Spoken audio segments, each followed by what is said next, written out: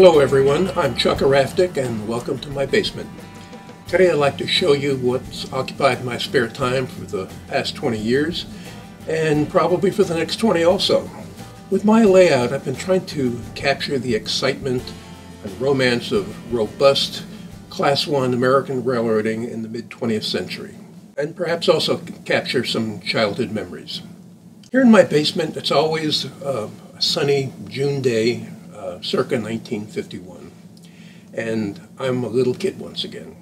Down here in my Boston and Albany division of the New York Central system, traffic is heavy in the early 50s and both passenger and freight, and uh, it's all running along the B&A's two-track main line.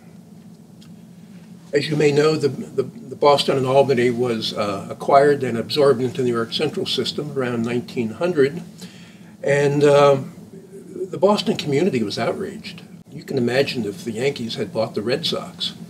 Well, to sort of uh, smooth things over, the New York Central wisely decided that they were going to uh, maintain the B&A lettering and logos on all motive power equipment, uh, overpasses, timetables, menus, and so on, uh, until after World War II.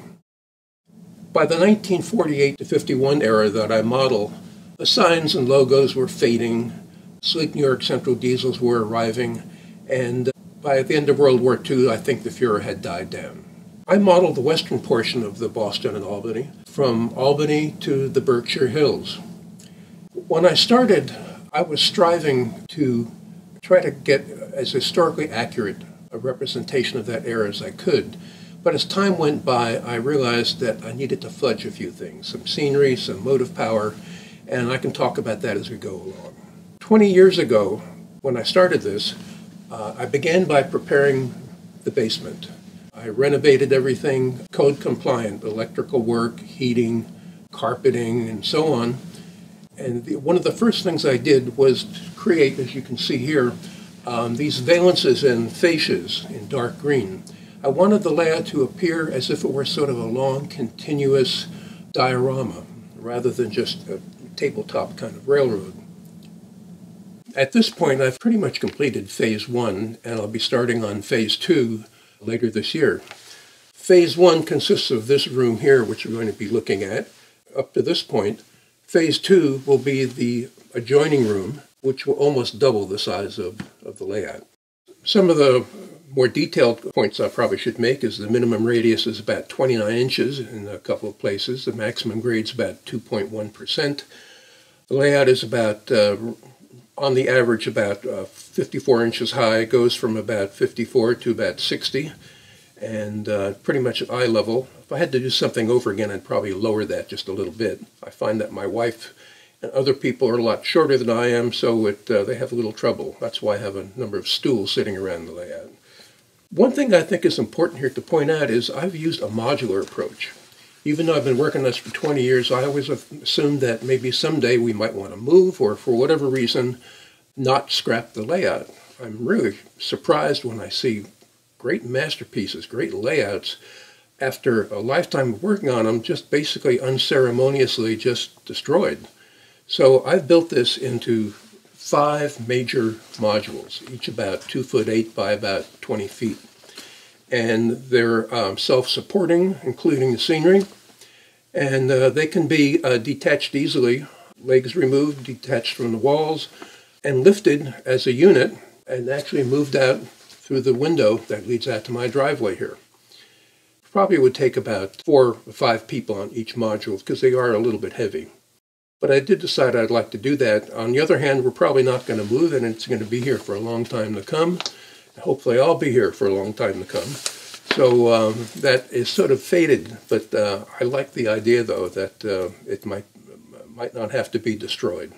And I've got this set up such that I could do a lot of operations on the layout, but what I really enjoy more is just running trains and building scenery and creating uh, my own separate world down here. And the part I think I like the least is, elect is uh, electrical work. If you look under my layout, uh, well, I don't want you to look under my layout. It's just a mess down there, the electrical work. Um, if anyone wants to help me with build phase two, the electrical work, I'm more than happy to have you join me. The track is all prefabbed Shinohara Walthers uh, switches and uh, Tortoise uh, controls. Code 83 on the main line, and it's code 70 in all the yards and sidings. This is actually my first finished layout. I've started a couple of layouts before, once when I was 12, once when I was in my 30s. I didn't get very far in either one, so this is basically my first real layout. And it's taken me this long to get this far because uh, I've been learning on the job. So, having said that, why don't we get started with a visual overview um, and tour of the layout. We'll begin our journey here in Chatham.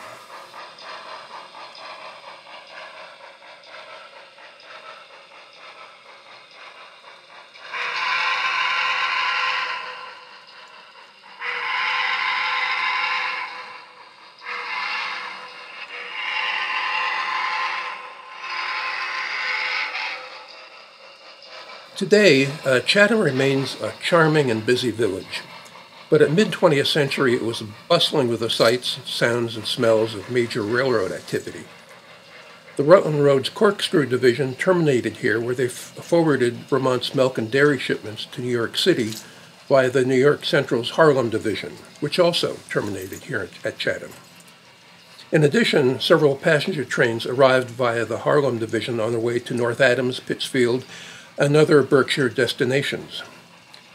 Both the Rutland and Harlem Division had modestly sized yard and engine facilities in Chatham, which I plan to develop in Phase 2. Built in the 1890s, Chatham Union Station is on a list of National Historic Buildings and currently serves as headquarters for a local bank. My scratch built model is about 90% full size, and Tower 65 is directly across from the station. I have photos from 1930s that show these prototypes. As an architect, I really enjoy creating urban scenery, and Chatham is one of my favorite subjects. I used a variety of kit-bashed structures to produce a reasonably close representation of Main Street Chatham. The 19th century firehouse bell tower remains to this day a prominent Chatham landmark. Departing Chatham, the B&A follows Stony Kill Creek through farm and dairy country until reaching the little village of Canaan, New York.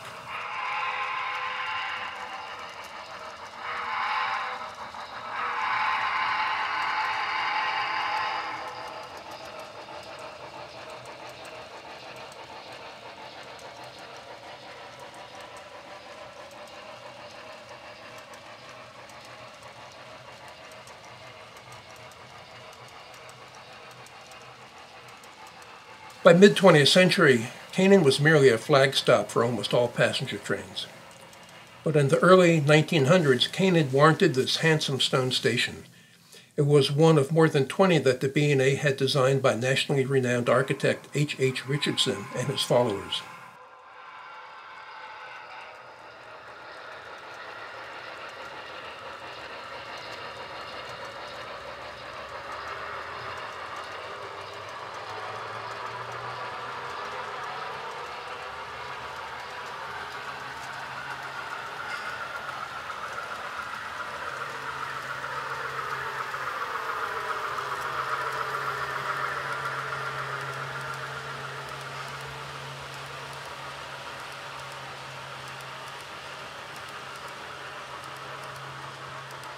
Tunnels were almost non-existent on the famed water level route.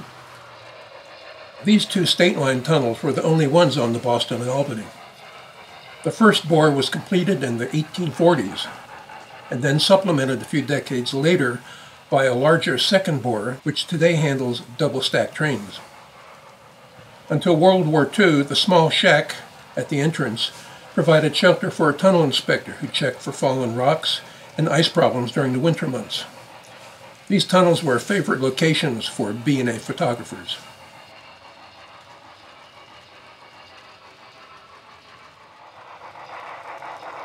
Leaving the state line tunnels, we soon arrive at the New York-Massachusetts state line.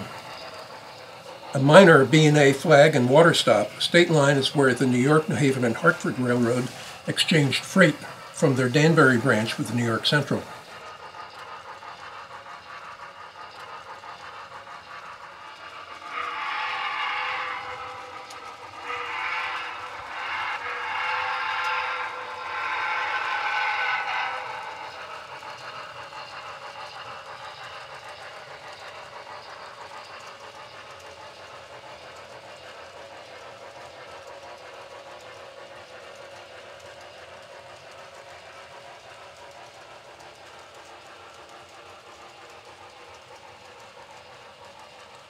You can see the New Haven line disappearing into the trees behind the station, where I have a two-track staging area. The State Line Dairymen's Cooperative and Ice House complete the scene. Most of the scenery on the western portion of the, of the Boston and Albany is pleasant rolling farmland and gentle hills, but it's not all that spectacular or what comes to mind when remembering the B&A. So, I decided to take an artist slash architect's license and fudge the scenery. Just east of State Line and just west of Pittsfield was a sort of mini summit. Well, I've taken the liberty of substituting the, the gorgeous scenery near Washington Summit east of Pittsfield with the unremarkable Pittsfield Summit just west. In this scene, we're looking at the very photogenic location of the twin ledges that occur near Washington Summit. You may have noticed the dense hardwood forest cover that blankets the Berkshires. Well, so far I've completed about 4,000, quote, super trees. It's a tedious process, however I do it in many small batches over an extended time period, and with a TV nearby. But I do think the results are worth the effort. A key aspect of my decision to incorporate the scenery near Washington Summit is the inclusion of the Westfield River, this river is a prominent feature of western Massachusetts and is integral to B&A imagery. The B&A main line crosses it multiple times, often on classic stone bridges and viaducts, which were already a century old by mid-20th century.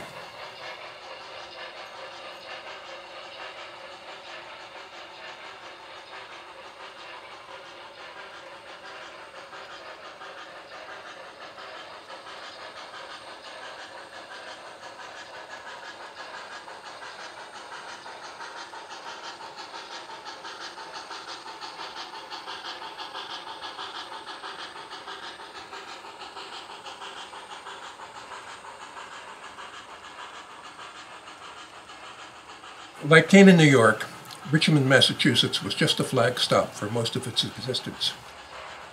With almost no 20th century images to go by, I did my best trying to represent this little town.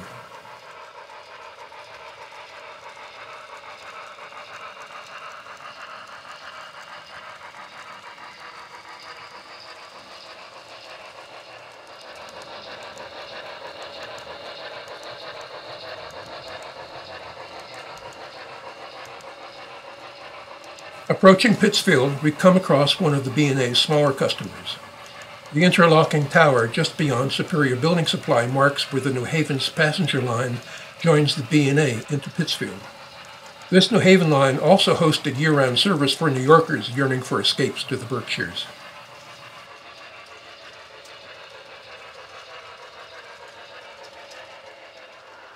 In the background here, we see a small representation of the gigantic General Electric Pittsfield complex. These two buildings and sidings are just a minor stand-ins for the mile-long complex that was a major source of B&A traffic and revenue. In the foreground, we see modest engine servicing facilities and a small yard. B&A had no such facilities in Pittsfield, but the New Haven did. Well, I just couldn't help myself. I thought they looked great and would be perfect way to display motive power. So I decided that on my version of the B&A, these facilities actually belonged to the B&A. Just one of many compromises with reality that I'm happy to admit to. Welcome to downtown Pittsfield, Massachusetts. Here you can see more of my love for urban scenery. This is a view down North Street, and all the buildings shown are fairly close approximations of those in the early 1950s. Today, some, such as the Palace Theater, are gone, but many others live on. England Brothers department store is gone, but has been replaced with an office building of almost identical size, height, and dimensions. Sadly, the B&A Freight House and Pittsfield's spectacular Union Station are also gone, but they live on in my basement. The B&A Freight House is modeled from both Atlas and design preservation components combined with some scratch building. Pittsfield Union Station was created by a major kit bash of two Walthers power plants combined with dollhouse components and some scratch building. I was delighted when a visiting fellow modeler from Pittsfield reminisced about walking the streets I've recreated and pointing out where he learned to drive a stick shift.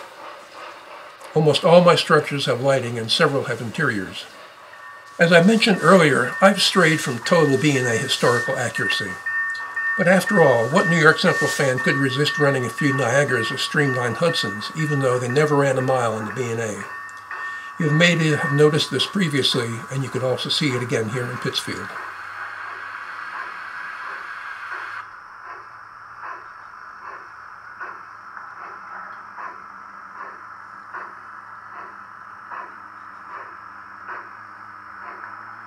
The engine you just saw pull up to the water column here in uh, Pittsfield is probably my favorite. It's a beautiful division point model. It's the classic Boston Albany Berkshire, first created in the 1920s. This is 1442, has a, a Hudson tender with it, which it was equipped with uh, in the late 40s, as uh, some of the Hudson's tenders were replaced by PT tenders on New York Central. They were moved down to the um, B&A. I have several B&A beautiful models, such as this um, uh, J2C Hudson here with the extra large sand dome for trying to conquer the Berkshire Hills and their grades. Even though you probably saw a lot of uh, Niagara movement today, I love Niagaras too. And even though they never set one wheel on the B&A, it's my, my railroad and I love them and I run them as well as I run some uh, Streamline Hudsons. I even have the Empire State Express running along here every now and then. Anyway, as I worked on this more and more, the B&A, I started to realize that I love everything New York Central, and the B&A is wonderful, but who wouldn't want to have these types of engines uh, running on your layout, whether it's B&A or New York Central? So um, that's one of the compromises I'm happy to admit to and feel really good about.